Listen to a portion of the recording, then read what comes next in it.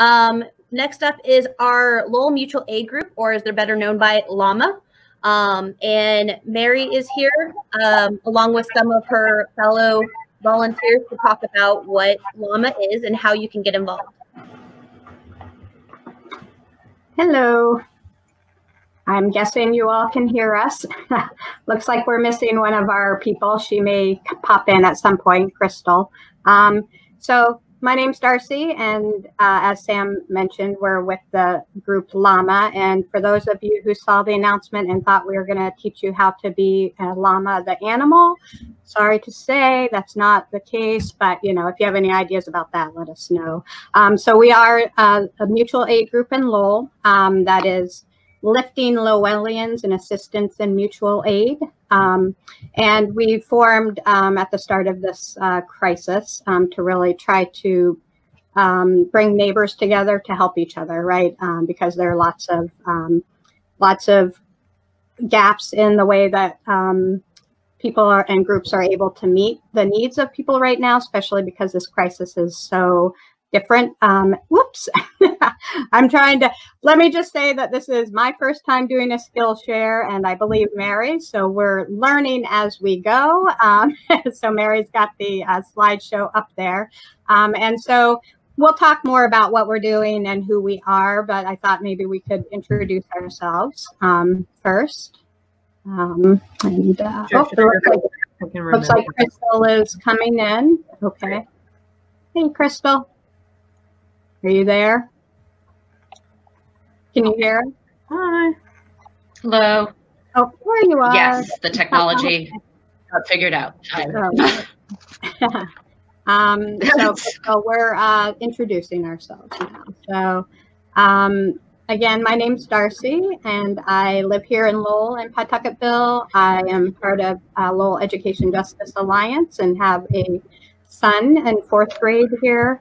Um, also work at the university, but my work here is um, just me being a person who lives in Lowell and cares about Lowell. So um, that's why I'm here. Um, Mary, did you want to? Sure. Hi, everybody. Uh, thanks for joining us today. I know it's really gorgeous outside, so I'm sure lots of folks are interested in doing something outside after um, after the Skillshare. So my name is Mary Taurus. Um, I use she, they pronouns. I live in the Lower Highlands neighborhood and I work for Lowell Alliance as a community organizer and family advocate. Um, and when the state of emergency was uh, put in place in Massachusetts, we uh, we found out that uh, the some of the LAJA members were also looking into setting up a mutual aid group I work with a lot of refugees and immigrant communities here in Lowell, and we were also looking into doing that. Uh, so we combined forces, and Yama or Llama was born, and um, we're really looking forward to sharing all that we've been doing with you and how to get involved. Um, my name is Christle Roberts, and I'm a mom of a couple kiddos in Lowell. Um, I live downtown, and I, having had some struggles myself, or having struggles being disabled, um, and having some illnesses in the past, understood that there are are vulnerable people in Lowell that need help for this crisis. Um, I've been very fortunate that I built a community uh, of friends that have been there for me and that I them um, and I realize how important that is. So that's part of how Llama came to be is we all realize we need each other. Um, so I'm also a tutor um, and educator. So I don't know. Okay. And I'm super shy. You're great, Christle. I think um, your internet connection is a little choppy, so just so you're aware. Um, okay. Okay. All right. So shall shall I switch to the slideshow now? Okay, great. Um, and bear with me, folks. I'm going to try to be switching between both a presentation we have for you as well as some of our social media and the tool that we use to organize online, which is called Slack. Just so folks know that that's something, if you really are looking to get more involved, uh, that's something you can join us on. Um, hold on. Okay, here we go. Switching. hmm. I'm not sure. Oh, Okay, no, There there, there we are. good.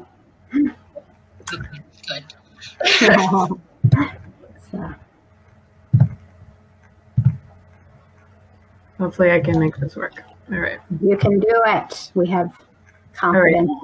So we we um, did our introductions there. Um, all right. So what is Yama or Llama? Um, this is lifting Lowellians assistance and mutual aid, as we mentioned. We are people who live and work in Lowell and want to build a structure that lets us uh, meet one another's needs during this crisis. But also, we want to build something that lasts beyond the pandemic, and we want to build a more fair and more accessible and more just Lowell for everyone. So, I'd like to also share with you that there is um, a group called Vecinos um, for the Spanish speaking community members and neighbors among us. And that is integrated into the work that we're doing. So we're we're meeting together, we're staying in communication, but it's helpful to have a separate branded uh, messaging and interface that is just all in Spanish for people. So that um, that is also available. So we'll, as we explain this, um, we'll be showing some of that content also. Um, and I'd like to open up for anyone in the Facebook Live chat watching. Um, what is mutual aid from your perspective? How do you uh, think about that? Define it. Do you have any experiences that you could speak to for that? We'd like to open this up a little bit um, to be a, a little bit interactive before we continue. So feel free to write in the chat, um, which we are able to see, what mutual aid means to you. And while you're doing that, I want to say hi to Paulina, who was on right before us doing the crochet skills share. I said, I think I know that person. And she is on the Llama uh, Facebook page. And um, she connected me to her mom, who made masks um, for us to distribute. And the masks that um, Paulina's mom made went to the senior center um, for the volunteers who are delivering food, but also seniors who are making requests for um, for masks for their own personal use. So anyway, I was happy to see Paulina and happy to see you here. And that's just a little taste of the connections that we're making here. So thanks. Um, all right, so I'm not I'm not seeing um, many comments, so that's okay. We can move on, and we'll share with you our definitions and grounding principles. Um, so mutual aid organizations uh, organized to exchange goods, resources, and services from people who have them to people who need them, and back again. Um, we're led by regular people, residents, uh, not corporations or nonprofits. So while we partner with lots of uh, entities in the city, we are resident driven and led. And we're, we want to give a shout out to our disability justice organizations that are also doing community care circles for a long time. So that includes all kinds of organizations um, as well as peer led support and recovery um, organizations. And we like the inspiration from Ricardo Levins Morales, who whose uh, drawings are depicted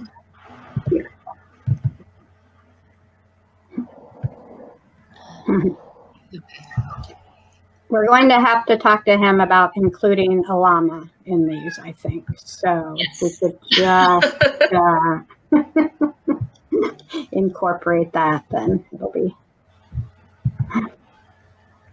I don't know if people can read these. Um, can Accept your feelings. Yeah, Yeah. so we Stay have, aware. You got it. Oh, we do. Okay. Stay aware. Um, limiting exposure. And then rest, which I think there's different responses to what we're experiencing. Some are uh, needing to rest more, and others are responding by working harder. Um, so get in touch with one another.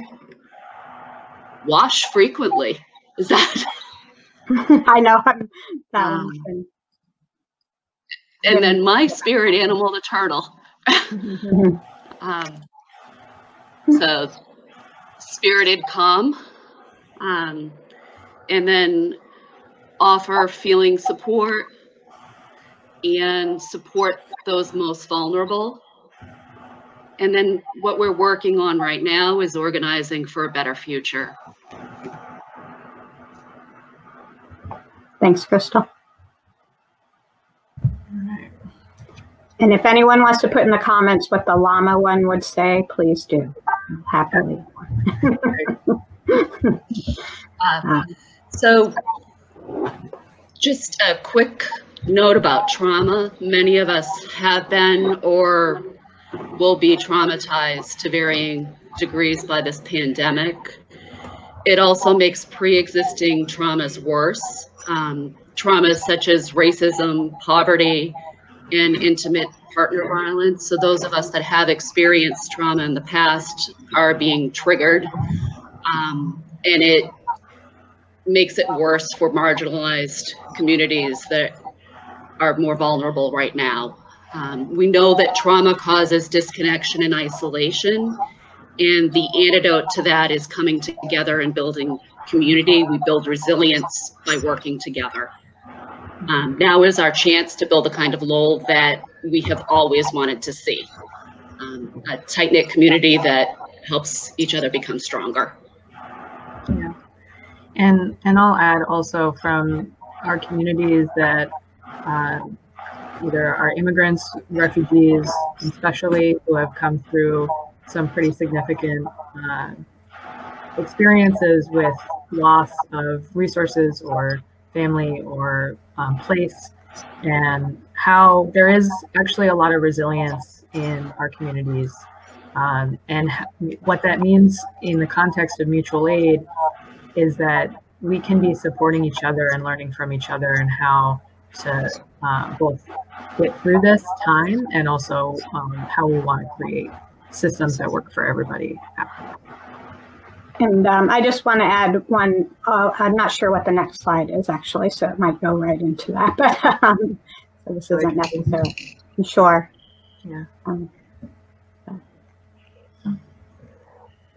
so I think in terms of the idea about mutual aid and this kind of fits this is that we think about this and you you may have read this in different places that we think about this as solidarity not charity right? So that we all have something we need and we all have something to contribute. Sometimes we have some of both right? And that this is all us helping each other and the idea of charity is more in that there are some people who get it and some don't. You know, some people are worthy of getting help and some are not. Um, and we pretty we're our philosophy and the work that we're doing right now is that if you're looking for help, you need it, and we need to figure out how you can get it right. And so, um, and that's for all of us. Um, so, I just wanted to to share that that part of the philosophy that we're all in this together. And Mary, I know that you have a, a, a quote that you like to share about? I, you can me to read it? Sure. Yep. I keep it up in my wall here. um, I actually don't have the attribution um, to who said this, but it was within the context of Aboriginal um, Indigenous organizing in Australia. Uh, but the quote is If you have come to help me, you're wasting your time. But if you have come because your liberation is bound up in mine, let us work together.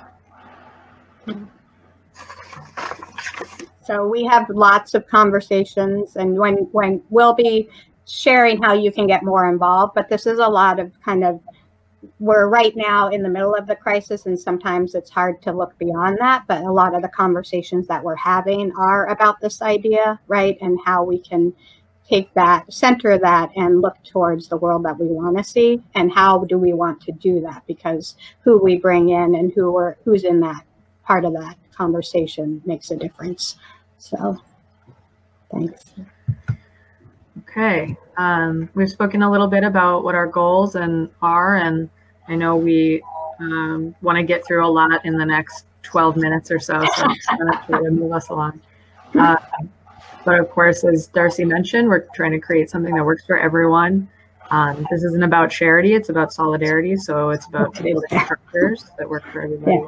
and respecting what people have to offer. So um, do you want to speak to investments and um, I mean, so as was mentioned earlier, um, Lowell Education Justice Alliance has and members have been pretty involved in this group, and we have been working for a while. It's another grassroots group that's parents and teachers and community members and students who are invested in our public schools. And um, we have been, for the last three years, fighting very hard to get better investment and resources into our schools. And we have just won this really amazing grassroots led bottom up effort to get more funding. And then this crisis happened, right? And so this is somewhat devastating because we, this was such a, a, a huge part of the work that we were doing and we had had this great victory and now it's all up in the air but of course we still talk about what we want to see right even if we don't know um, what when we're going to get that and what the resources are. I mean, I think we always talk about we have we know that there are resources in this country. We know that it's possible to do these things. We just don't have that they we don't prioritize those things, right? And so that's part of this conversation that we're having is what do we what is the priority? And how do we shift that focus so that we do invest in our schools and invest in housing, invest in the things that are gonna that people need and that our planets need and that it's not completely focused on corporations and business and profit right? And so um, this having this happen has been devastating but it also really is forcing us to think about who was winning and who was losing and what can we do differently so that we are not don't do this again right? That's right. So, very good. Thank you.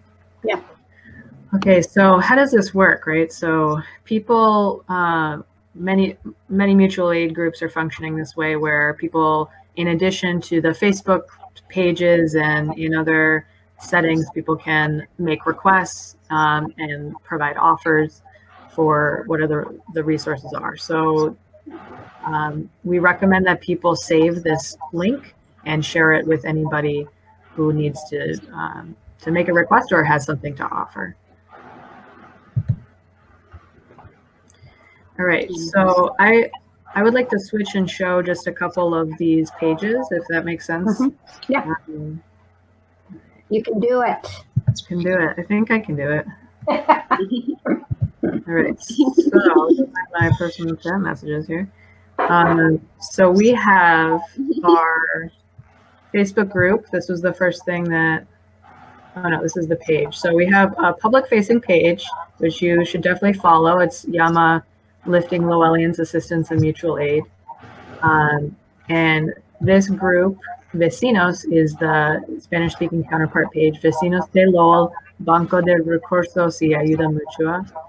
Um, and then we also have the uh, Yama group, Llama group. And this started really right uh, as the uh, state of emergency was put in place. So it's been up for a little over a month and a half. Um, and there's about 1,200 people in the group so far. It is organized by topic, so people can search here for what um, they might be looking for first. We do have moderators that try to reduce the duplication of posts. Yeah. And the group meets Saturday at 10 a.m for the network organizing call. So we just got off of that today, and you can see lots of updates there. Uh, one big ask that we have right now is for people to help make and get more masks out and, and PPE for the community. No, you guys And one last tool that we're using, this might take a minute to load, but this is our Slack uh, system. So this is a workspace, a shared workspace where we have on the left-hand side all of the um, activities that the committees and working groups that Yama is involved with, and people are doing most of the organizing on the back end here on the slide. So if you are interested in joining that or getting more involved, you can either post up in the group, message us on the page, or email us uh, at the email address, which is lifting Lowellians mutual aid at gmail.com.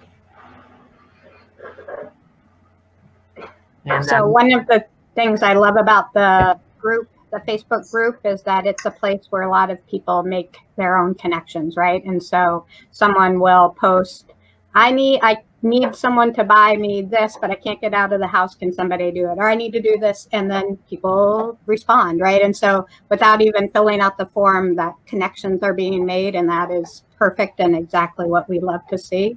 Um, but sometimes you need a little bit more of a direct prompt. You can fill out the form.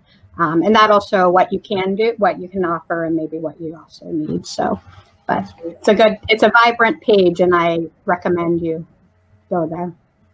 And for those that aren't on Facebook or online um, or interested in filling out a form to make those mm-hmm. requests or offers, there is also a phone number. So um, I think that information is also, actually, I can just, I'll just, it's right here, but so the phone number is 978 222 7877. And that also includes a Spanish number line that will direct to um, our counterparts there, as well as a Khmer uh, line to go to the Cambodian Mutual Assistance Association. And we're always working on additional language access options.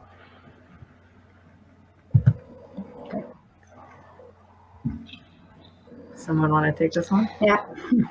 Yeah. So um, we also have a donate line or a donate form. Um, a lot of the work that we're doing um, involves feeding people. Um, that food insecurity is increasing right now, and that's one of the biggest um, asks that we have on the form. And so we need we use this money to supplement some other donations and things that we get from people. So the other thing that we've also done is um, we have helped pay for people's medication um, because uh, they lost their job, all kinds of reasons, right? So those are the types of things that we would use this money for. Um, and again, the longer this goes on, the greater the demand is. So um, we really, the funds come in hand, are really important to the work that is happening right now. Thank you. Okay, so uh, additional ways where people can get involved know if someone wants to read these, but um, yeah, go ahead. So we need people to make masks for our volunteers and also for others in the community that need them. Um, it's hard for people to even find them at this point if they do have the money.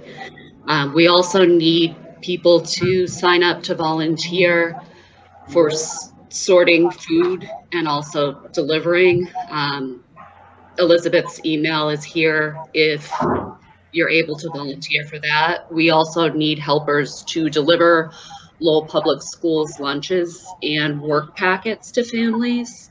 Um, Darcie, who's here, her email is right here.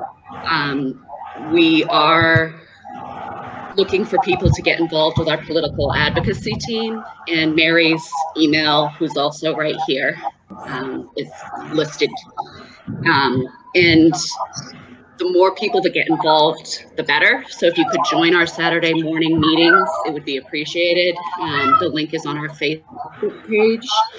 We also have a support group that we're working on getting up and moving. The main piece of mutual aid is that this is solidarity, not charity, and that we're supporting each other.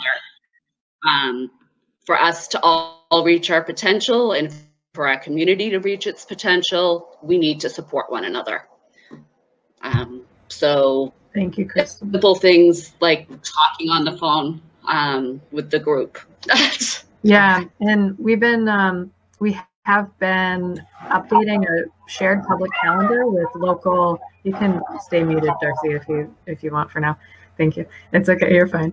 Uh, so we have a shared public calendar where we're trying to add all of the local virtual support groups available um, for people, which include parents, children.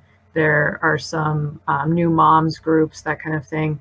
And we're also working on some drop-in support um, calls just for anybody that wants to have some space um, or support holding space for others to um, process how this is affecting them, uh, others around them, or or just stay, you know, connected during this time of so social isolation. Uh, so thank you very much for joining us. We um, we can we can have a couple last thoughts, okay. but they are asking us to wrap. Oh, okay. I just want to say thank you. If you see in the live comments, Paulina said if you are interested in making masks, she is happy to help connect you with her mom, who can help you um, in how to make them, and we'll happily take them because, as we've said, we're getting lots of requests, and the the governor just put a, a mandate out that everyone needs them, but now but nobody can get them. So we need to figure out how to to connect people. But thank you, Paulina, for that. Um, but uh, thanks so much. And we have a beautiful, wonderful volunteer graphic designer, as you can see. Uh, isn't that awesome? I love that. um, but thanks so much and really hope that you all, um, we see you out there someday in the streets. But uh, right hope now, mask on. Yeah. um, yeah, keep in touch and, and best wishes to everyone's families and yeah. stay stay safe and healthy and well. Thank you. Stay well. Bye-bye. Bye. Bye.